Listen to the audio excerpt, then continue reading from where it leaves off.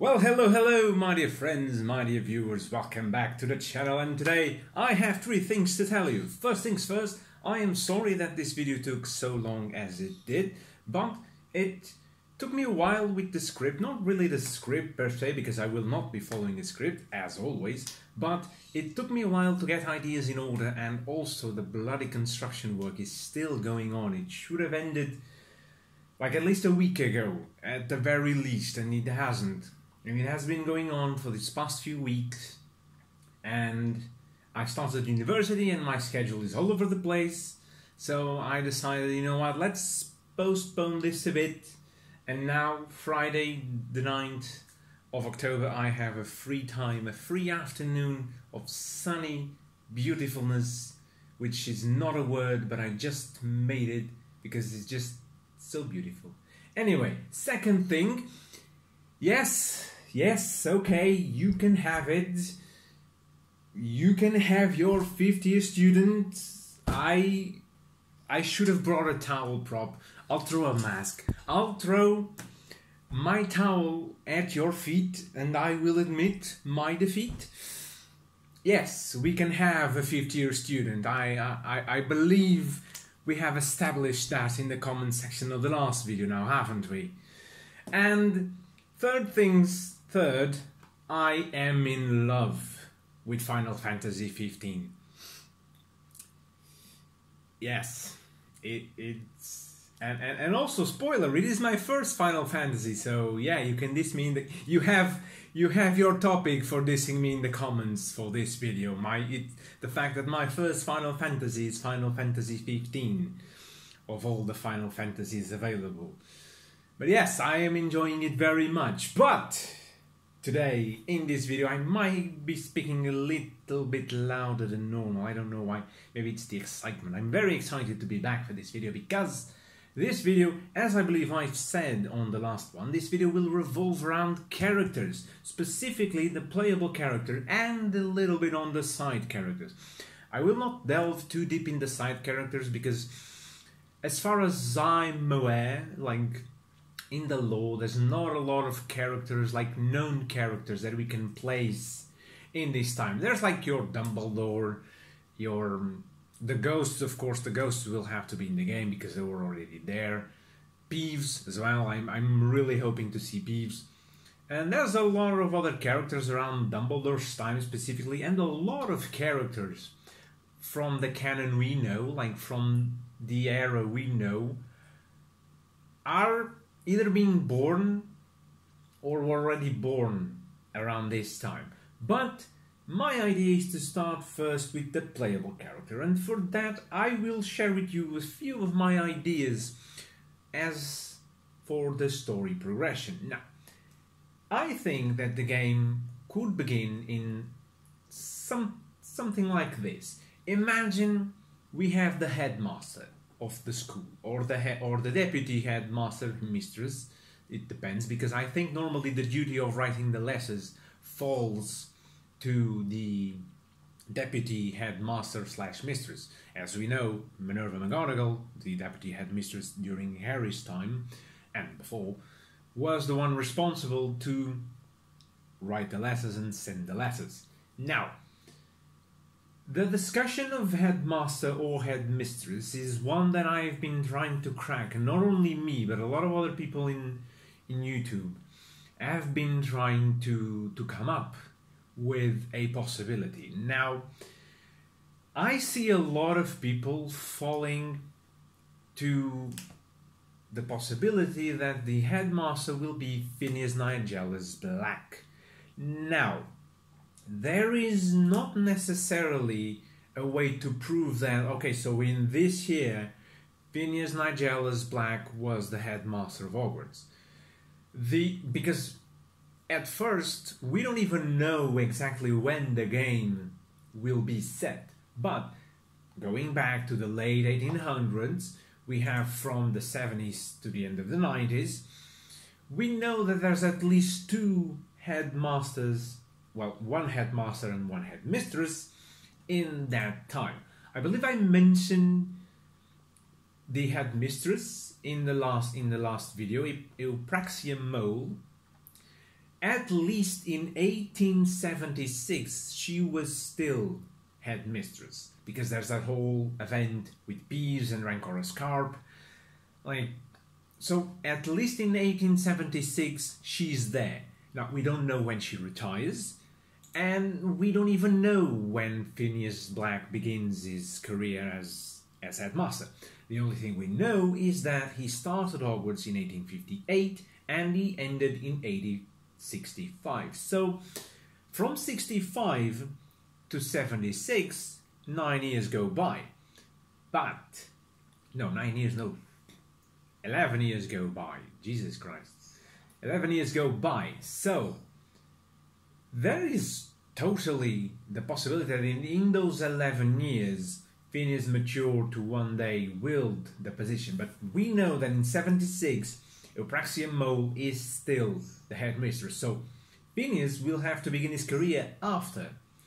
Now, another thing that points me away from Phineas Black is that the guy he's known to be the least popular headmaster of Hogwarts.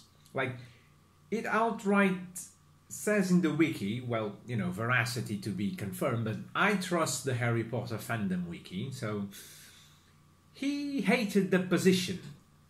So, unless of course the fact that Phineas Black is the headmaster will play into the overall story, and I will have something to say about that in a bit, Honestly, do you really think it's a good idea to have a guy who loads the position of headmaster being in the game that will serve to make us like live the ultimate Hogwarts fantasy?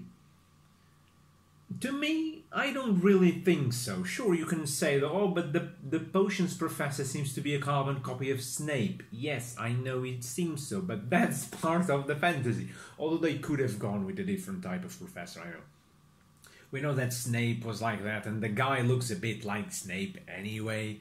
So they, they, they could have changed him a bit. But yeah, they could have gone with a more Slughorn type character. Maybe not on the part of the favoritism, but a more jovial kind of, of professor for for the role of potions master. Not necessarily the broody kind of. The guy even limps. Like you combine the aesthetic with the limping. Like it's like it's like if Filch and Snape had a kid. That's the Potions Master on the Hogwarts Legacy trailer, and that's an image you all will have to live with for, for the foreseeable future, myself included. But anyway, Headmaster, Headmistress, whoever it was, I believe that the game could start with them addressing the letter to our playable character. Now, we've discussed that, well, you showered me with your opinions and I honestly I never had so much fun interacting on online with anyone because that's this is what I want. Comments telling me your opinions and us discussing our opinions and coming to terms with each other's opinions on the matter. Of course I ended up totally defeated, but and I admit it, but it was just a blast and I hope that this video will have such an active comment section again. Now, back on track because you know me. And by the way, this video will probably have half an hour at least, you know me. So, headmaster, headmistress, deputy headmaster, deputy headmistress, someone of the higher of higher position, and I want to believe that it, it is it will be the headmaster or mistress, will be writing the letter to the character. Now, we know that the character, our character, will receive a late acceptance letter to Hogwarts. Now, this is why I think that the position of inviting our character Hogwarts should fall to the headmaster or, mis- or mistress because it's not a normal situation. It's someone who, if if he or she will start on its fifth year, it's someone that has been that it's five years late to Hogwarts. In a situation with a background that calls for special circumstances. Now, that's why I think that the introduction to the game could be a scene with, you know, the headmaster with a quill and, and parchment writing the letter, and we hear the voiceover of the contents of the letter. Now, where the headmaster may address the situation of the hidden power that it would mean that the character would begin the game knowing. Then again, then again, the letter may not address this. It may just be the the professor addressing it to himself. But there, I think there needs to be some knowledge, some prior knowledge from Hogwarts, from the Hogwarts side, that this character is special. Because if we are to go with the 50th student, there needs to be a reason as for why, well, you know, this person has been unaware all his life that he's a wizard. If if they are going to go with that, but I keep losing myself. So yeah, letter being written, the situation being explained, the, the Dark Cabal being explained as well, and we see a few images of that, and then boom, we fall to our character's home, receiving the letter, and well, the letter getting in to the house, and someone calling the player character. Now, this will be the typical RPG, kind of like Skyrim, Fallout, you know, character creation, where you don't see your character per se. Well, in Fallout, you kind of do see the vanilla, the vanilla default uh, Nora or Nate.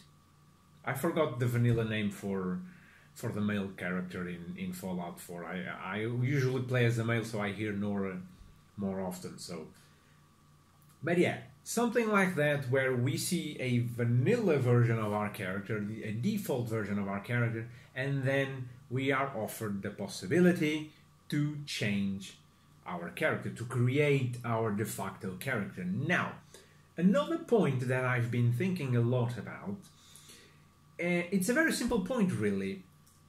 Name. Our character name. I think and I really, really am adamant on this. And I, you can try, but you will not make me change opinion on this. I think our character should have a set name, or at the very least, a set family name and a list of names to choose from. Names that would, of course, be voiced and be shown and spoken after being selected. Now, the reason I think this should be it, and I think you will agree with me, is because you can't necessarily have people running around in Hogwarts with obnoxious names, much like the ones our community is known to come up with. You know, nothing wrong against it. It's it's your username or the name you choose to bear.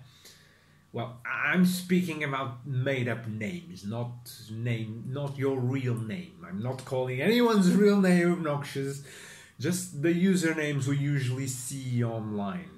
So, and another thing, this game is going to be voiced.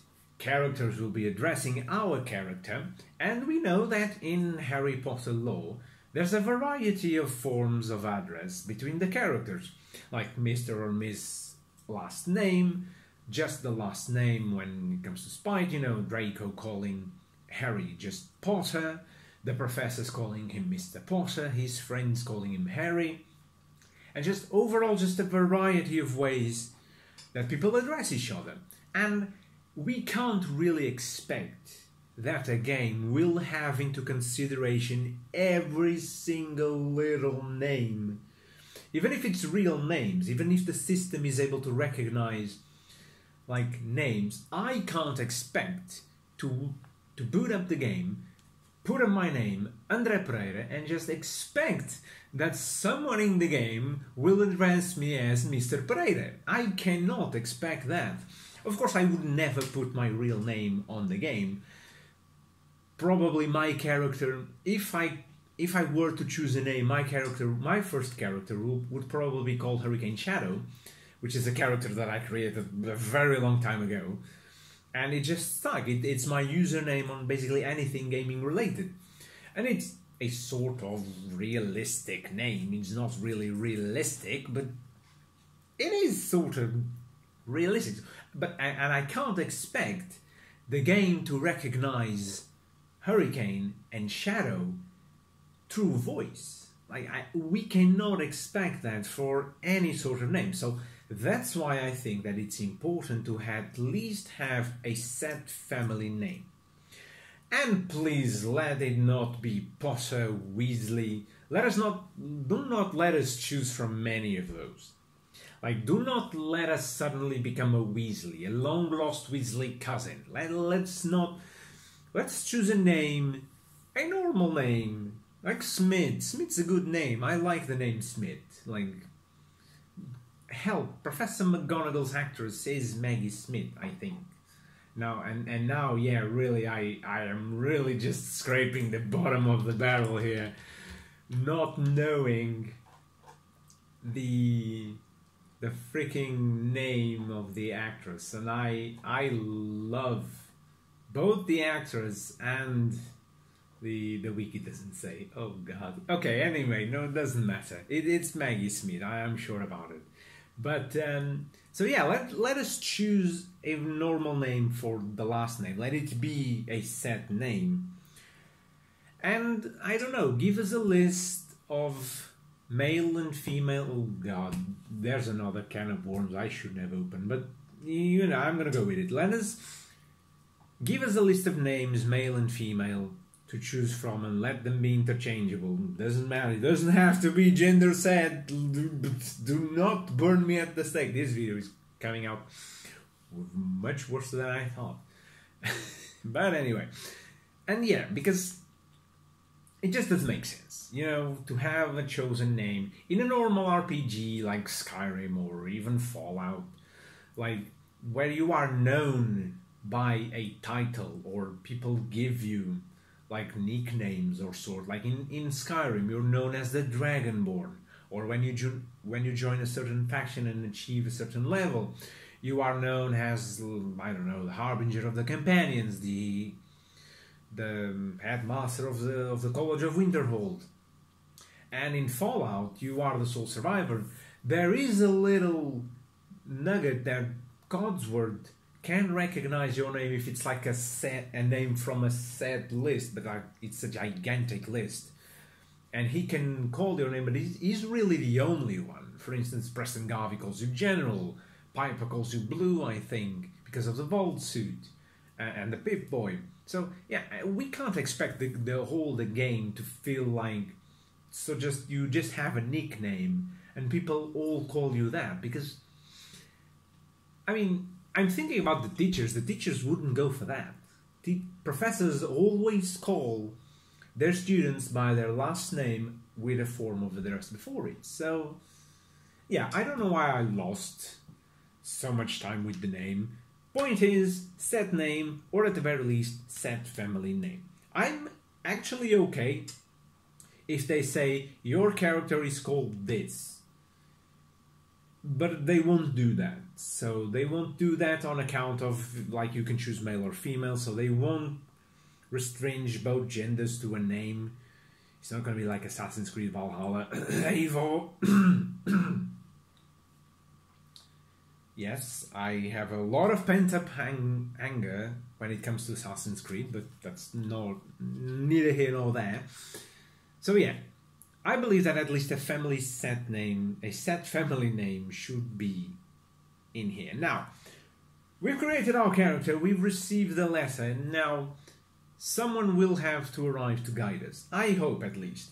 And the one I think will do that is the same person who we see driving the carriage on the cinematic trailer. Now, this is a very big stretch of imagination, but I want to compare our character situation to Harry's own situation. Harry had Hagrid with him during the trip to Diagon Alley.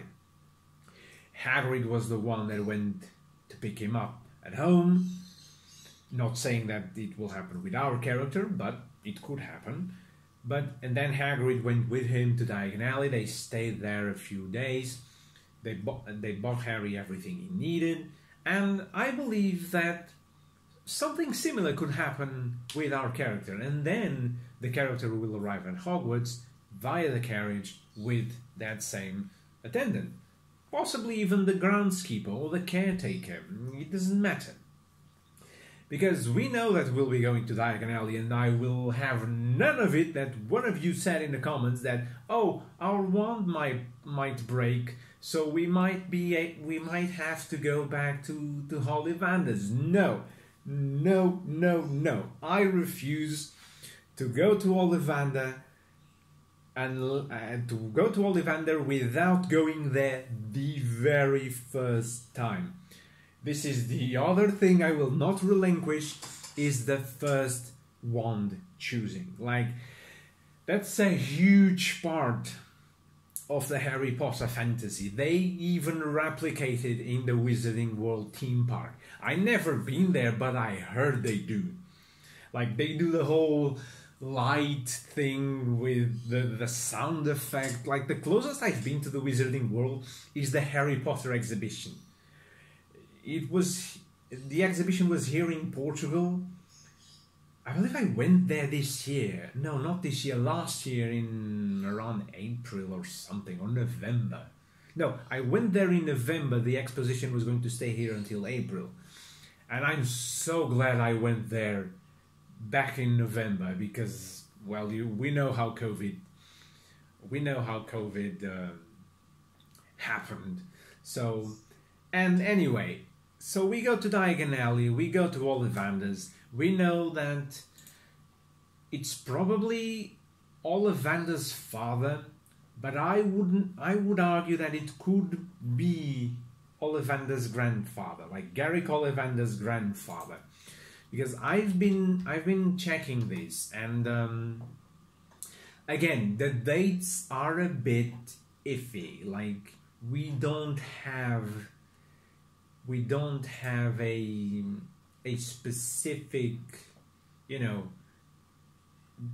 date for each of the family members of Ollivanders, but we do know that Garrick's father was called Gervase Ollivander, and he operated, well, the wiki says before 1890. So, again, we can make an argument that it was either Gervase Ollivanders, which is Garrick Ollivander's father, or Gerbold Ollivanders, although I do believe that it's most likely that it will, that it will be uh, Gervase Ollivander's father, not only because it makes a little bit more sense in, you know, in the timeline, but it also it would it would be really cool that like we would be seeing things almost a generation before. Like, not necessarily because there's a lot of time separating both works, but you know, Ollivanders live forever, so they are old as, as all hell.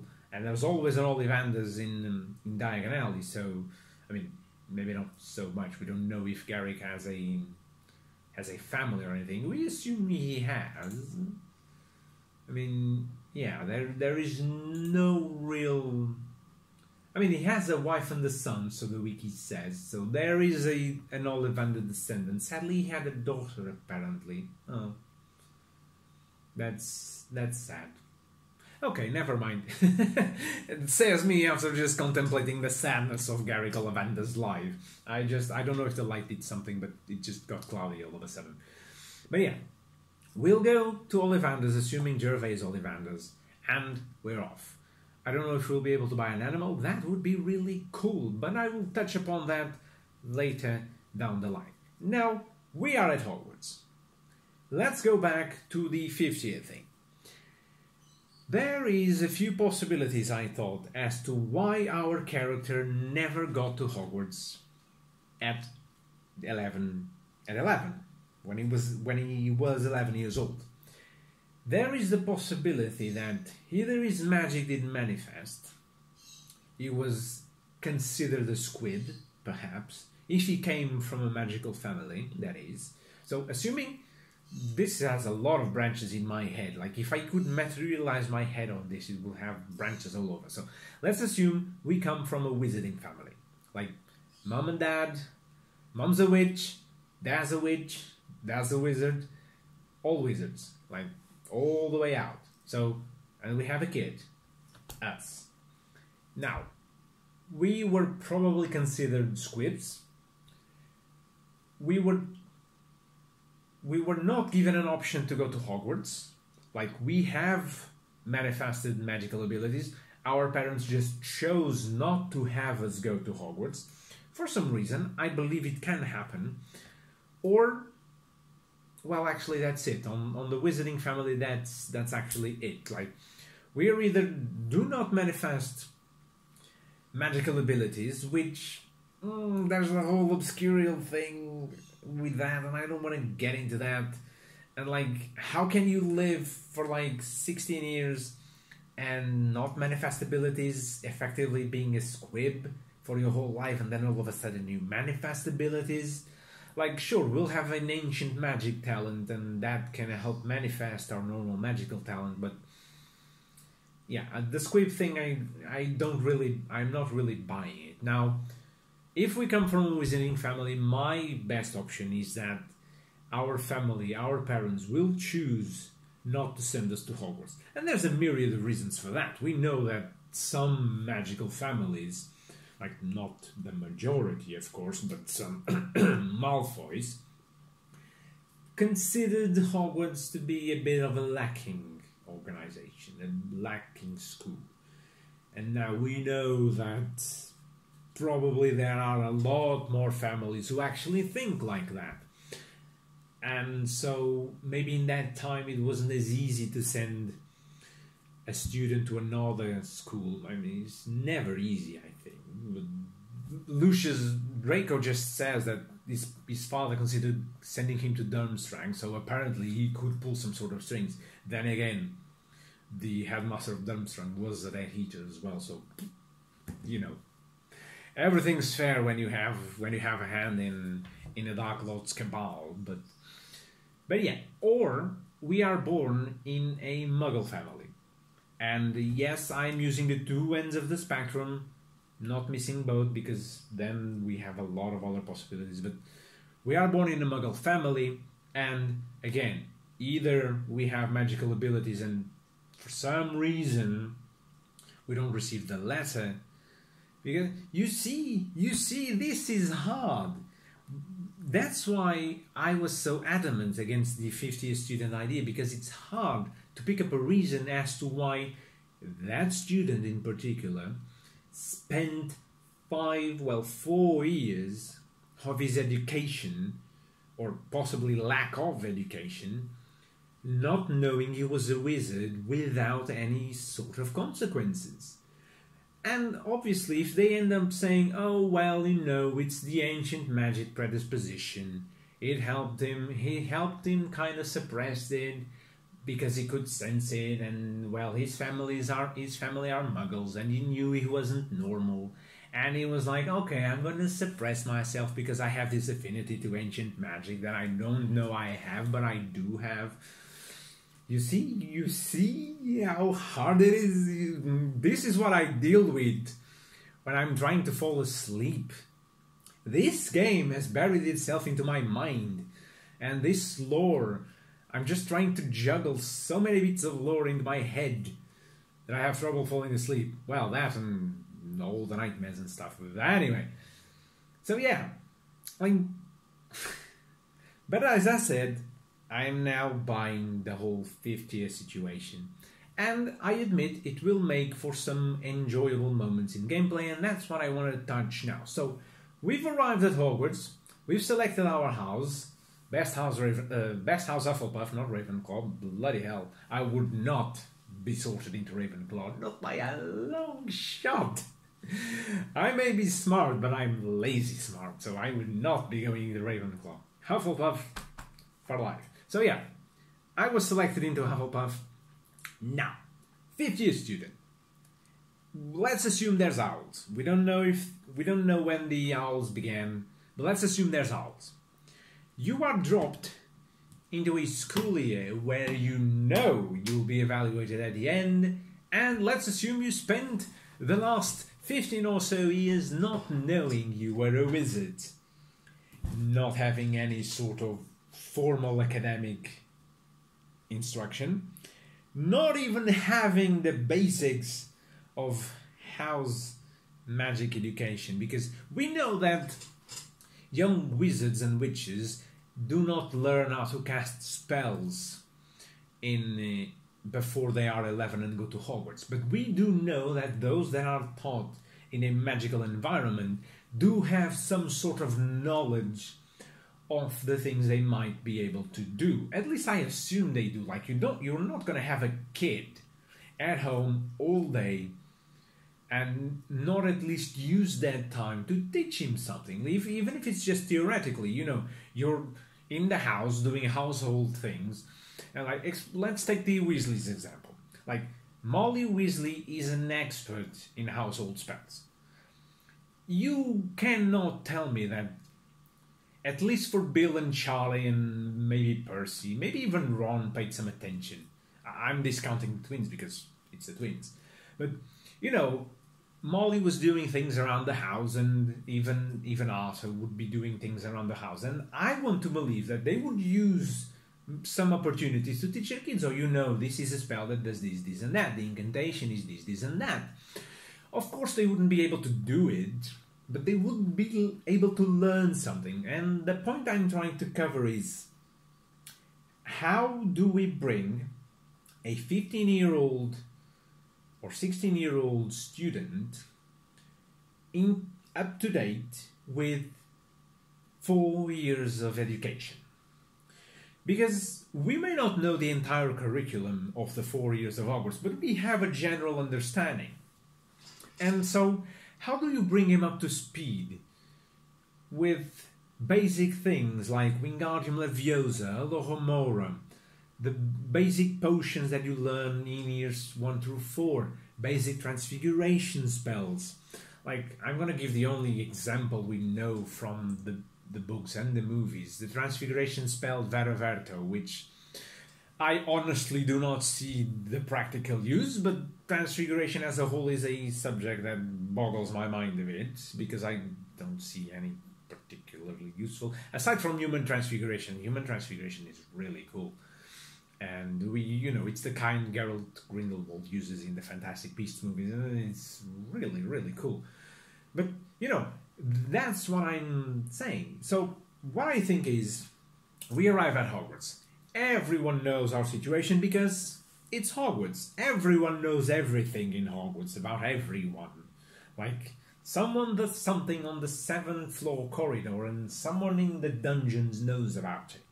So our situation will be made known because, of course, we will be the late student. We will be the one who skips years. And I believe that in the beginning, there will be a close circle of people in our immediate house that will help us with that. Now, I'm going to dabble a bit on the Hogwarts mystery story, in which I think that we will have one character that will be with us no matter the house we choose. Now I know this is a bit finicky and I don't really like the idea, but it's either that or they make four separate characters, one for each of the houses, that will serve as our first friend. Because we will need, is a staple of the Harry Potter world, we will need a first friend. Harry has Ron. Our character in Hogwarts Mystery has Rowan Khanna. Dumbledore had uh, Hephaestus Doge. Doge, Doge, Doge, I think it's Doge. Hephaestus Doge. And, you know, it's part of the wizarding world fantasy to have that friend, to have that those people who are there with us. They even say that we might be able to recruit some friends to go with us in certain adventures. So we will need to make those friends. And I believe that it's that friend that will start to introduce us to things. And is the one that will teach us the most, like sort of basic spells, the ones I would call utility spells. So here's your Alohomora, because I believe we I believe in those leaked images Alohomora appeared as one of the spells, and obviously you would need Alohomora maybe I don't know, maybe Reparo. Then again, Reparo doesn't. Wingardium Leviosa maybe for some situational puzzles. A basic fighting spell like I don't know, maybe Flipendo or Stupefy, or even God forbid Expelliarmus. But you know, so because we have to find the balance. If we're not going to learn about those spells in class, we need to learn about them some other way. And if we are to start as a fifth year student, I mean, we can't expect professors to drop everything to help the student who just arrived. You know, and I say, so I do buy the the idea of starting as a 50 student, but there are there need to be workarounds for that. So yeah.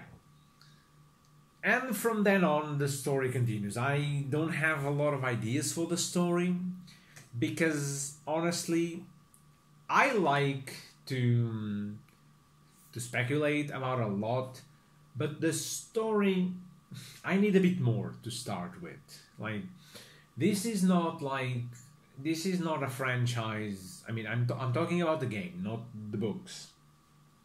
The, the game is not yet part of something bigger in terms of games. There's no precedent for games. There's no there's no future. So this game, for all we know, could be its own self-contained story, and I believe it will be. I don't think this will be the start of a big franchise set in the Wizarding world, because if they were to do that, in my opinion, then they should have started in first year.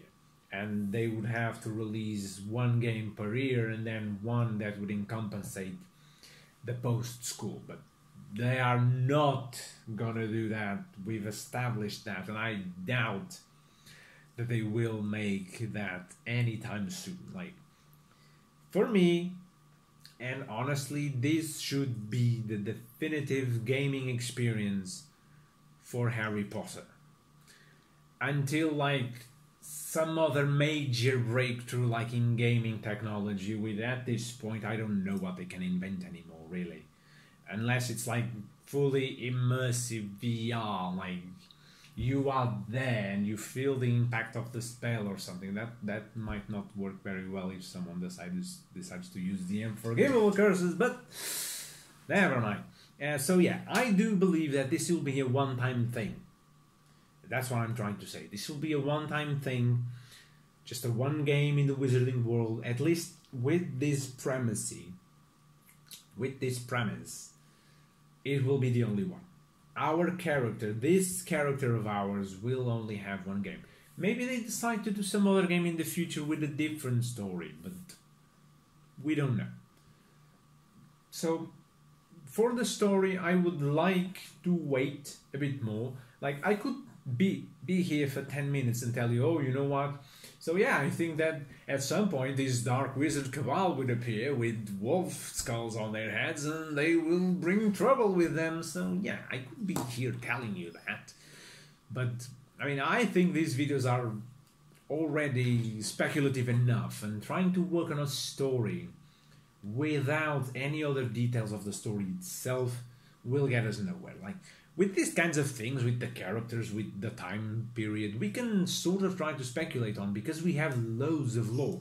But the story will be something original, and therefore, I want to wait a bit before delving into the story. Now, the next video I want to make is the spellcasting system. I have been having some ideas on the spellcasting system and I've been trying to make it not very complicated because rest assured I'm not trying to make it Order of the Phoenix tie-in game sort of complicated. Not that it's complicated, it's just janky. Because if you remember Order of the Phoenix, the tie-in game, like it was all based around the map and movements, uh, not the map, Jesus Christ, the mouse. It was all revolving around the mouse and there was movements you need to do certain movements up and down, left and right, circle and whatnot. And it, it resulted in Harry just constantly flailing his arm around, like the time where he got his bones erased by Gilderoy Lockhart, just to try and launch Depulso. So, so to cast Depulso. So, yeah, I'm not trying to make it that. I am trying to come up with a system of and I forgot the name. I had a cool name and everything. Con- con- contextual casting. That's that's the name. I'm not trying to coin it or anything or trademark it, but it just sounded cool in my head. contextual casting. So, yeah, depending on the situation, different spells would be available to activate with just the click of a button. I know it's it's downplayed. It brings memories of like the seventh and eighth game, which I never played because I never bought them. I have all the other games on disc for the PC, but not the seventh and the eighth, which is sad. I know the games are crap, but I would like to play them one day. And um, and much like the older games where you would have the symbol and you would point the wand at the symbol and you would cast the specific spell so maybe something more akin to that. I am trying, or even better, the best example I can give you so that you can think on it is the spell casting on Harry Potter and the Goblet of Fire tie game. That game is an absolutely piece of mess. It's a mess. That game is a mess. But the contextual casting it has, I believe, works fairly good. Not well, it's good. So, but you know, I'll expand on that. Try to come up with a list of spells. Go back to the leaked images and try to see what sort of what sort of spells they're using. Because well, that might have changed a bit, but there are a few ones that we know must appear. Alohomora, like I mentioned, and most likely Expelliarmus. Expelliarmus needs to be there. we all know that. So, after this messy video, I do hope you have enjoyed it. If you have, please do let me know in the comment section down below. Please do comment. I, I really, I'm going to say this again, and it's genuine this time. It was on the other time, it is now. I had a blast. That video has to be my most commented video like ever ever since i started youtube and i i started videos like two or three years ago. Like my first video dates from 2016 four years ago. It has been four years since i since i did since i did since i started youtube and the last video I did, the Hogwarts Legacy story and setting speculations, has 23 comments. Like no other video had ever had so many comments. Like, and I was ecstatic.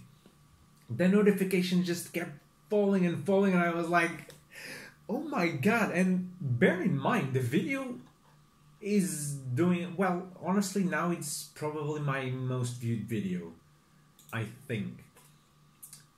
The, the, the previous first place was a fairy tale video I had done. Yes, in that video is now. Oh no, maybe not. No, that video is now. The Hogwarts Legacy is now my most viewed video of all, I think. Oh no, wait. No, whoops. it's not even on fifth place. no, okay, so my most viewed video is a is a My Hero Academia review that I did on 2017. A thousand views, my god, and 15 likes. Well, that's the same. That's the same, yeah. I think I got a dislike on this video, so that, that's okay. I don't care. So yeah, my god, my My Hero Academia, 1,000 views. But anyway, this is not. Here's me just bumbling about like an idiot, like the idiot I am. But yeah, if you have enjoyed this video or even if you have not, please let me know in the comment section down below. Tell me what do you think about the small journey I painted for our character in the game. Do you agree with it? Would you like to see something different? And let me know. If you've enjoyed it, once again, please leave a like, a comment, and if you'd be so kind to go the extra mile, subscribe to the channel for more. I have no way of guaranteeing when the next video will come out, but I promise you to try and take less time between this one and the last because it has been quite a while, more than I would want to admit. So, yes, I will try my best. If you want to, follow me on Twitter. I'm trying to interact there a bit more.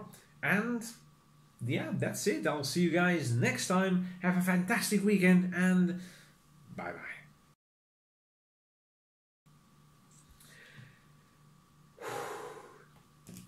My god.